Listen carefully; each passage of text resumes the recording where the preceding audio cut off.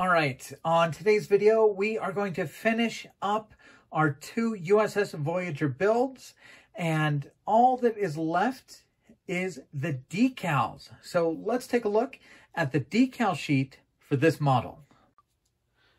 Now this is absolutely an intense set of decals. Um, obviously on the Voyager you have a ton of lifeboats. Now even on these lifeboats, these decals are really specific. So if you have a single lifeboat all by itself, it gets kind of four corners of red markings all the way around it.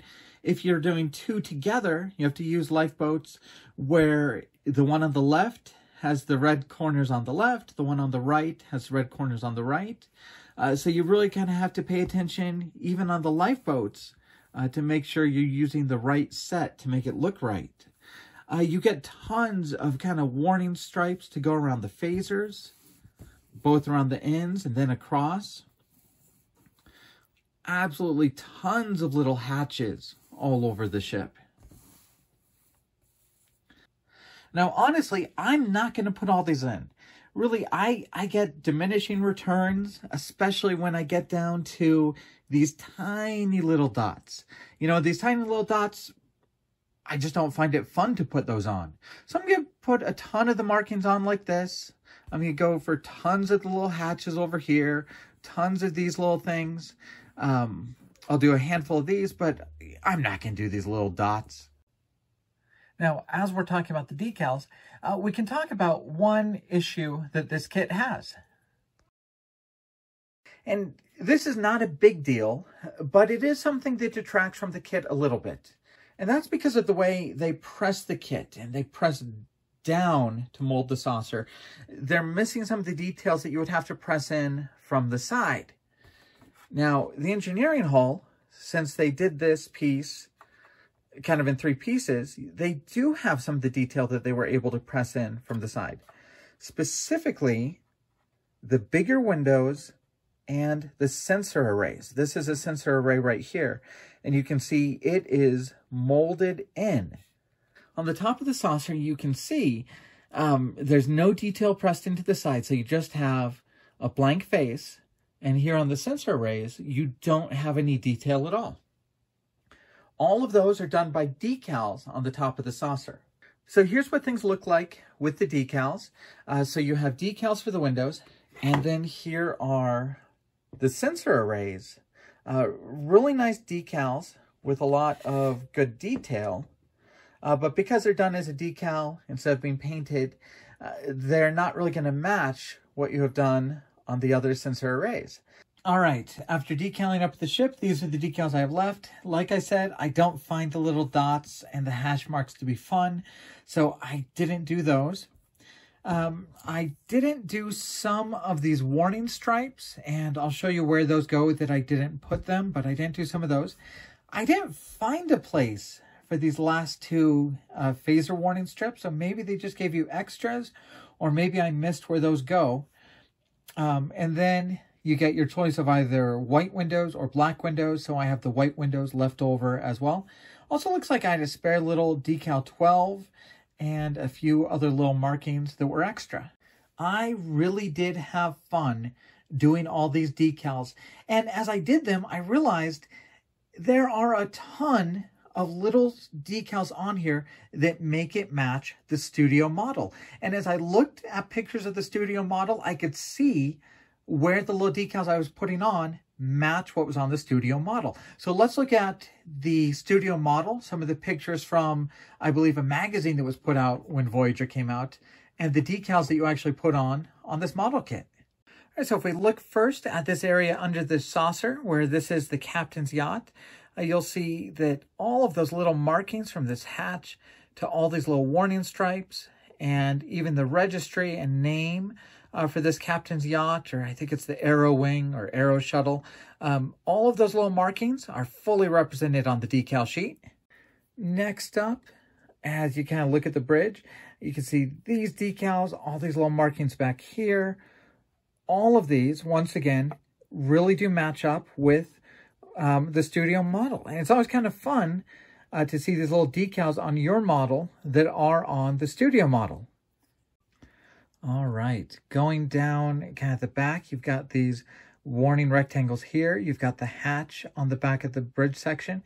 You've got all of these markings around the sensor array, even this little one right here and another hatch.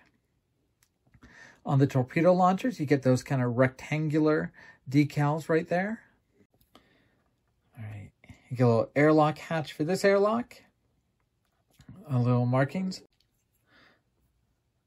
Here's all the markings around the sensor array on front, including these little dots that go on top of the deflector dish. That's a pretty nice decal as well. Of course, the little warning arches around the phaser strips. And I know I said I didn't do any dots, but I definitely did uh, these little triangles that go around the deflector dish and these markings. Uh, these triangles may be small, but I do think they are very important part of what the deflector dish looks like, so I had to do those.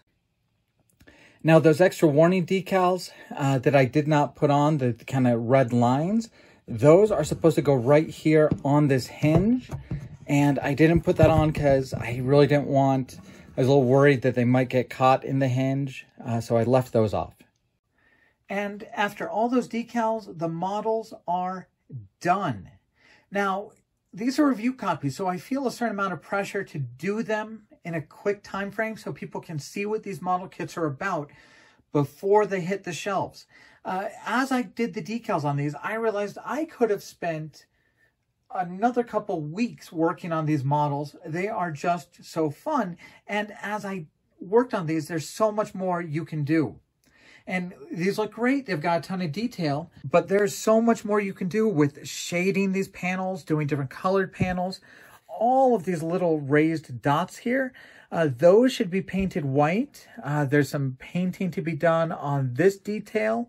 Uh, there's some painting to be done on these bridge accents. Um, you can really deck out these sensor pads. Uh, you can do those same sorts of colors down there.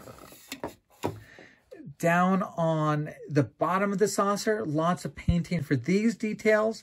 Uh, on this one, I did do a, a panel line wash around the shuttle to kind of accent that. But all of these little areas here, all of those can be painted. Uh, there's little navigation light details uh, that you could put a little bit of color on. And there is an opportunity to do a little bit of finishing work on here that I didn't really get to do on these builds. Uh, now, the saucers match up very, very well. Uh, but if you have the time, uh, a little bit of putty to finish up this edge uh, so you don't really see a gap or a crack right there. I kind of would recommend, you know, put those hobby skills to use, putty that up, sand it, and make this part of it look as good as this. All right, now that we have these ships built, let's get a good look at them. Thank you.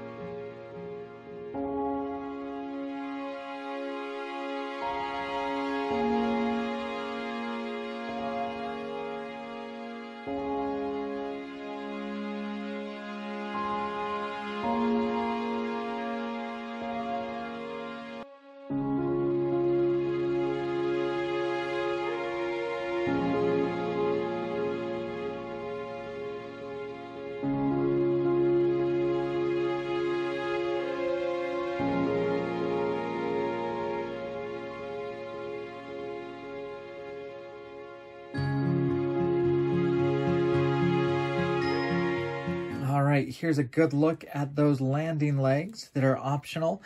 Uh, on either edition, the standard or the clear edition. You can put those into the, your build so you can make your ship in a landed position. And let's get a look at that little mechanism for moving the pylons. And it really does snap into place if you do it right.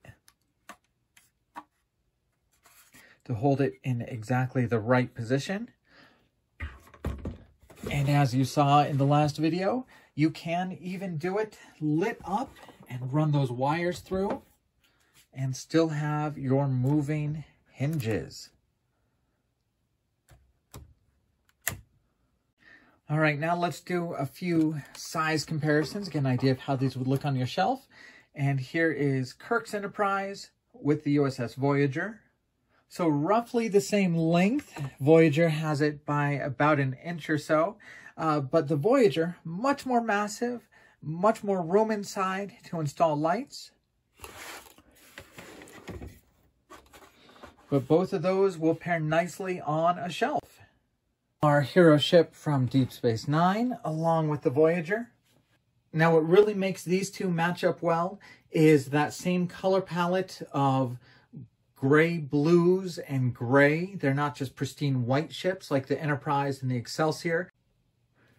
Both very fun builds, and both these were very easy to light. Now, I find this to be one of the most interesting comparisons uh, because I have always thought the Excelsior just being massive, and I expected the Excelsior to dwarf Voyager. But really, if you didn't have those hugely long nacelles, the Voyager seems like it has as much volume and mass as Excelsior.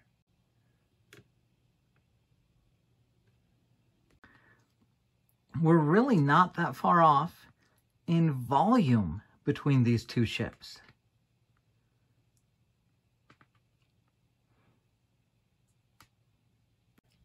Now, the other ship I really want to show Voyager next to is the Enterprise E, my absolute favorite ship. Now, these two models are not in scale. The Enterprise E is 1 1400th, the Voyager is 1 1000th.